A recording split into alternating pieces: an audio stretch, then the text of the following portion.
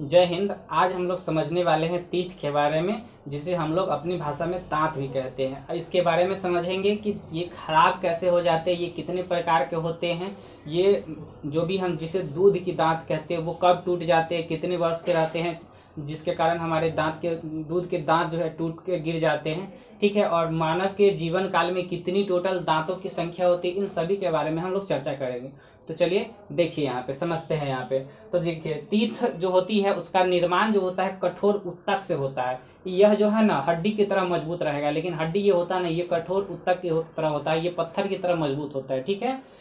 उसके बाद इसकी जो अध्ययन को हम लोग ऑडेंटोलॉजी कहते हैं, उसे क्या, इसके अध्ययन को हम लोग क्या कहते हैं? ऑडेंटोलॉजी कभी कभी क्वेश्चन खड़े पूछ देता है यहाँ से कि दांत के अध्ययन को क्या कहते हैं? तो दांत के अध्ययन को हम लोग ऑडेंटोलॉजी कहते हैं। और इसकी क्षति खराब कैसे हो जाती है दांत? तो देखिए, एक तो ये फ्लोरीन गैस के कारण खराब हो जाएगी। दूसरा, अगर आप ज़्यादा खट्टा सामान खाते हैं, अगर उसका पीएच मान दो दशमलव पाँच से नीचे चला गया तो आपका दांत ऑटोमेटिक झड़ जाएँगे, जैसे झड़ जाएगा। अगर आप फोर पॉइंट फाइव से नीचे आप जैसे ही उस चीज़ का सेवन कीजिएगा, आपका जो दांत है सब चू के नीचे गिर जाएगा, ठीक है? जैसे पाका लाम नहीं देखते हैं, पाका लाम चू के नीचे गिर जाता है, वैसे ही चू के गिर जाएगा तो आपका ऐसे हो जाएगा, ठीक है? तो इस तरीके से वो दांत खराब हो जाते हैं, इसलिए कहा जाता है ज़्यादा खट्टा सामान नहीं खाना चाहिए इंसान को, ठीक है? फोर पॉइंट फाइव से नीचे पीएच मान वाले सामान को नहीं खाना चाहिए, ठीक है? और एक एक और तरीका है जिससे दांत खराब होते हैं तो अगर आप ज़्यादा मीठा सामान मीठा पदार्थ का भी आप लोग सेवन करते हैं तो उससे भी आपकी दांत की क्षति होती है, वो मीठा पदार्थ आपके दांतों में चिपक जाता है और वो धीरे धीरे आपकी दांतों पर एक परत बना देता है, जो धीरे धीरे उसमें छिद्र करने लगता है। बहुत देखते हुएगा ना, बच्चा सबका दांत खराब हो जाता है, सड़ जाता है धीरे धीरे तो वो सब, वो मीठा पदार्थ के कारण होता है, चिपचिपा वो पदार्थ होता है, वो जल्दी दांत से छूटता नहीं है, कितना भी आप सफ़ाई कीजिए, जल्दी वो छूटता नहीं है, ठीक है? तो इन सभी कारण से आपके दांत खराब हो सकते हैं। फ्लोरीन गैस अगर आपके दांत में मार दिया जाए फ्लोरीन गैस आपको दांत पे छोड़ दिया जाए तो तो भी आपका दांत पूरा झड़ के गिर जाएगा तो आप ऐसे हो जाइएगा। जो आप गाँव गाँव में जो देखते होंगे, जो हमारे बड़े बुज़ुर्ग हैं, उनका दांत अगर खत्म हो गया है तो ऐसे दिखते एकदम ऐसे दिखेंगे, ठीक है?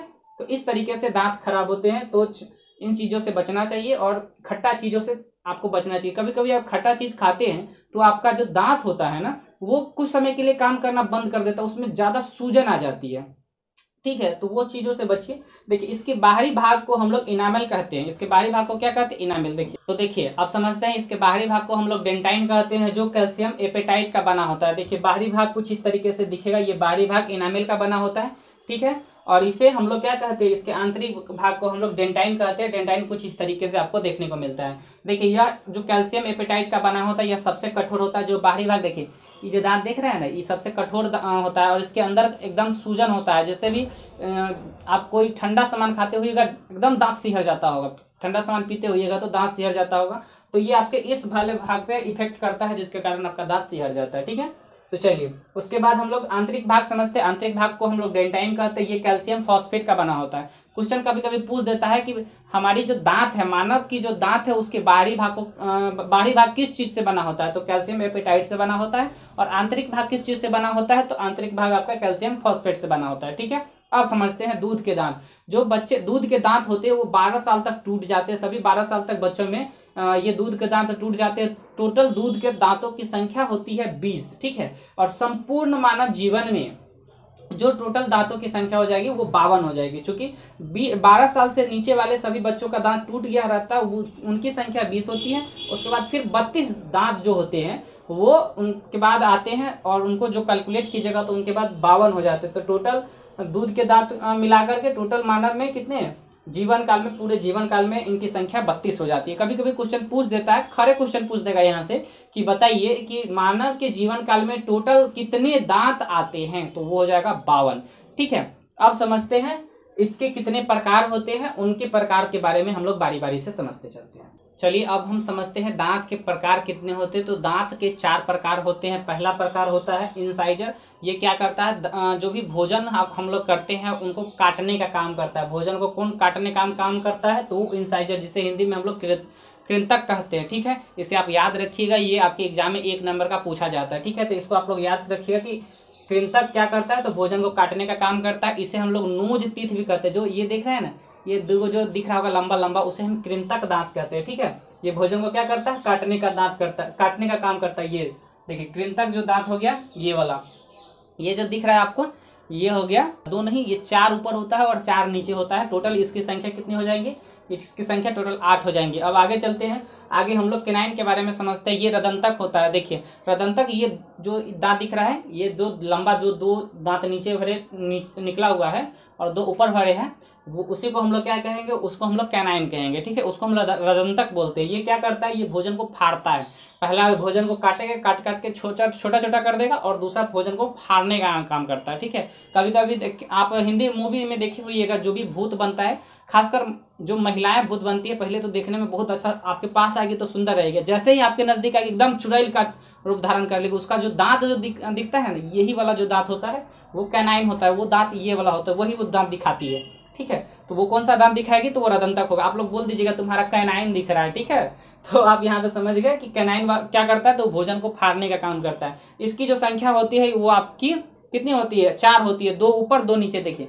ये है ना, द, ये दिख रहा होगा आपको? द यहाँ हो गया द ये नीचे हो गया। ठीक है? इसे हम आई तीत भी कहते हैं। ये आँख के जस्ट नीचे होता है, इसलिए हम आई तीत कहते हैं। और ऊपर वाला जो इंसाइजर है, उसे नोज़ तीत ये नाक के जस्ट नीचे, चारों जो नाक के जस्ट नीचे होता है ना इसलिए हम इसे नोज़ तीत भी कहते हैं, जिसकी संख्या टोटल आठ और रदंतक की संख्या कितनी हो जाएँगी? टोटल चार हो जाएँगी। जो दो यहाँ पे ऊपर भी दो और नीचे भी दो टोटल चार हो जाएगी। उसके बाद हम लोग समझते हैं प्रीमोलर देखिए, यहाँ पे हम डायग्राम में भी समझने का प्रयास करते हैं। देखिए, ये जो है, आपका इंसाइजर है, जिसे हिंदी में कृंतक कहते हैं। इनकी संख्या कितनी है? टोटल ऊपर जो चार हो गया, एक और ना जैसे ऊपर ये वाला, ऊपर वाला भाग हो गया, नीचे वाला भाग हो गया तो ऊपर चार हो गया, नीचे भी चार हो गया।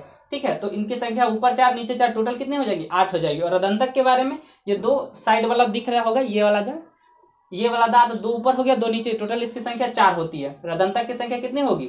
चार होगी। रदंतक की संख्या कैनाइन की संख्या आठ नहीं, चार होगी।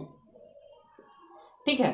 तो चलिए, ये समझ गए, अब आगे चलिए। ये देखिए प्रीमोलर प्रीमोलर को अग्र अग्रचवर्णक कहते हैं, ये भोजन को चबाता है। अब हम लोग क्या करते हैं, अभी इतना ना एडवांस टेक्नोलॉजी हो गया मतलब हम लोग इतना टेक्नोलॉजी के पीछे भाग रहे हैं कि खाना को ठीक से चबाते नहीं, जिसके कारण हम लोग का गैस का प्रॉब्लम हो जाता है। जितना आप खाना को चबाइएगा, जितनी ज़्यादा लार उसमें भोजन में मिलेगा उतना ही आपके शरीर में जो पाचन की क्रिया होगी, बहुत अच्छे तरीके से होगी, आपका खाना पच जाएगा, कभी गैस की प्रॉब्लम नहीं होगी, कभी आप बाथरूम में ज़्यादा देर बंद नहीं मत, नहीं रहिएगा, ठीक है? जल्दी जाइएगा, निकाल के जल्दी चले आइएगा।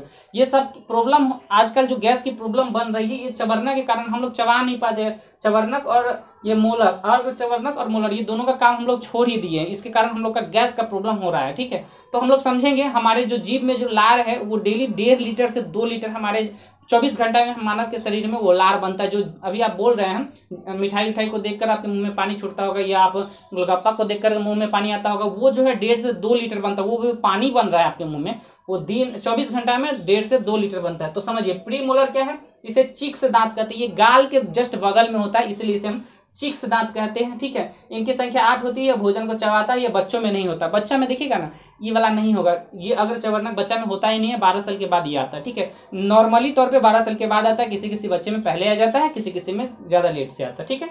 वहाँ पे समझ गए अब मोलर के बारे में समझते हैं। मोलर को हम लोग चबरना कहते हैं, ये क्या करता है? भोजन को चबाता है। जैसे आप भोजन को पहले काटिएगा, फिर फाड़िएगा, उसके बाद उसको पीसीएगा, पीसने के बाद और पीसीएगा, और चबाइएगा। लास्ट पोजीशन इसका है, ये यहाँ तक होता है, ये दिखा, यहाँ तक दिख रहा होगा, ये यहाँ तक इसका मतलब कि फैला हुआ रहता है, ठीक है? ये भोजन को एकदम मिहिन मिहिन करके पीस देता है। अगर ये अच्छा से काम नहीं करवा रहे हैं ना, अपने मुँह को अच्छा से इसका काम नहीं करवा रहे हैं, जिसके कारण आपका गैस का प्रॉब्लम होता है तो इसको अच्छा से आप लोग यूज़ में लीजिए।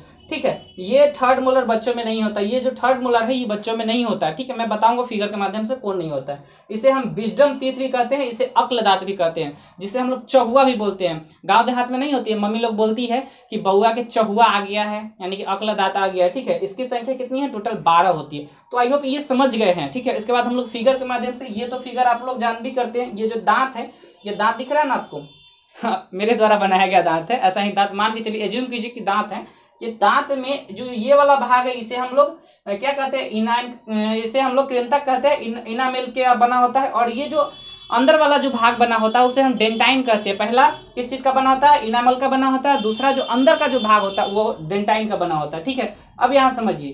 तो ये वाला दांत इंसीजर हो गया। ये वाला दांत इंसीजर जो ये चारों दिख रहा है वो इंसीजर हो गया।